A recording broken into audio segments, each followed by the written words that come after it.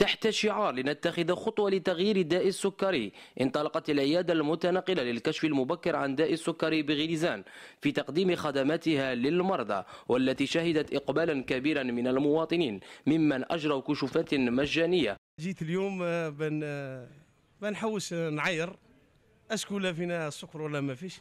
وهذه الظاهرة هذه راهي منتشرة في في كل الولايات. وإن شاء الله نطلب إن شاء الله بربي نعير وما نسيبش ما يكونش فيها إن شاء الله.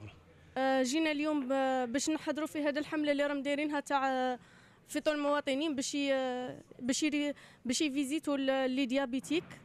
ايا وإن شاء الله نتمناو أن ما نصيبوش واحد واحد أخر عنده السكر لاخاطش قواو بزاف هاد لي هاد لي مالاد وحتى الأطفال كان لهم جناح خاص لغرض الكشف المبكر عن المرض وهذا لتجنيبهم الكثير من المتاعب التي يمكن أن تؤثر عليهم مستقبلا. سموني عابد كريم مصاب بالداء السكري عمري 14 سنة. دعتني الجمعية المتنقلة مصابين بمرضى الداء السكري. باش يفوتوا علينا لهنا كما كتشوف الطبيبات ديالي psychologue.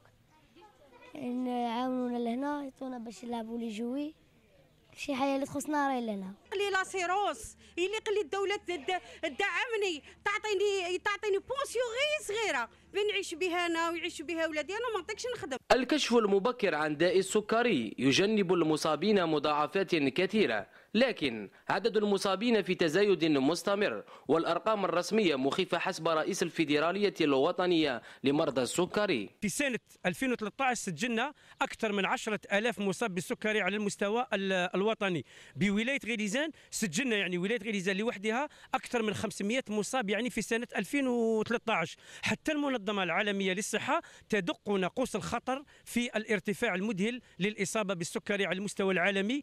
ورغم الفائدة الكبيرة لمثل هذه المبادرات لما تقدمه من خدمات مجانية للمرضى لكن يبقى الكثير منهم يعانون ظروف اجتماعية صعبة على الدولة التكفل بمطالبهم الاجتماعية.